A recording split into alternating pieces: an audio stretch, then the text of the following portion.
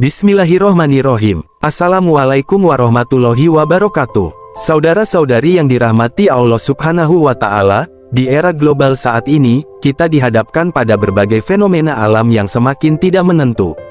Krisis iklim yang terjadi di berbagai belahan dunia menimbulkan pertanyaan, apakah ini salah satu tanda fisik kiamat seperti yang disinggung dalam Al-Quran dan ditelaah oleh sains? Mari kita bersama-sama menggali jawaban melalui video ini. Dalam video ini, kita akan menjelajahi apa yang dikatakan oleh Al-Quran mengenai tanda-tanda kiamat, khususnya yang berkaitan dengan perubahan iklim. Kita juga akan melihat bagaimana ilmu pengetahuan modern memandang fenomena ini. Apakah krisis iklim yang kita hadapi saat ini benar-benar berkorelasi dengan tanda-tanda yang disebutkan dalam kitab suci kita? Kita akan mengupas ayat-ayat Al-Quran dan hadith yang menjelaskan tentang fenomena alam sebagai tanda-tanda mendekatnya hari akhir, serta membandingkannya dengan temuan-temuan terkini dari para ahli sains tentang perubahan iklim. Judul, Benarkah Krisis Iklim Tanda Fisik Kiamat? Ini kata Al-Quran dan Sains. Al-Quran dan Sains memaparkan tentang krisis iklim di muka bumi. Disebutkan bahwa itu menjadi salah satu tanda fisik akan datangnya hari kiamat. Benarkah? Ada sejumlah teori dalam ilmu sains yang menunjukkan hari kiamat bakal terjadi. Agama Islam sendiri meyakini kiamat sebagai bagian dari iman, termuat dalam rukun iman urutan kelima. Kiamat dalam perspektif sains dijelaskan dalam beberapa skema yang terjadi di alam, mulai asteroid besar menabrak planet bumi hingga panas matahari yang terus meningkat. Dilansir buku, Tafsir Ilmi, Kiamat dalam Perspektif Al-Quran dan Sains, dijelaskan bahwa segala peristiwa pasti diawali munculnya tanda-tanda. Mengenai tanda fisik kiamat di muka bumi, bahasan tentang kerusakan di darat dan laut adalah topik yang tidak bisa dilewatkan. Secara kasat mata dapat dirasakan bahwa bumi makin rusak. Hal ini bisa dilihat dari hutan yang bertambah gundul dan mengakibatkan tanah longsor hingga banjir. Kemudian lingkungan perkotaan terasa tidak nyaman, udara kotor dan panas, sampah bertebaran di mana-mana.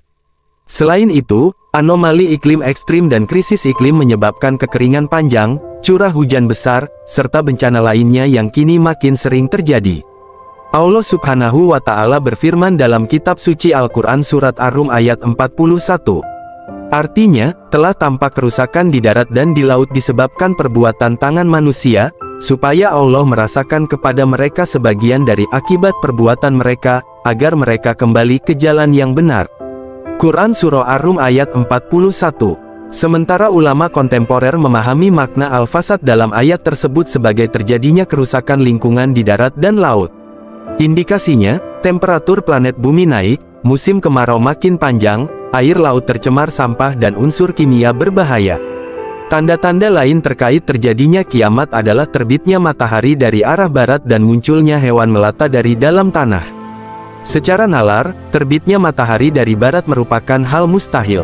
Namun ketika keadaan alam semesta mengalami kegoncangan dahsyat, menyebabkan planet-planet termasuk bumi bertebaran dan bergerak liar karena rotasi masing-masing sudah tidak lagi teratur.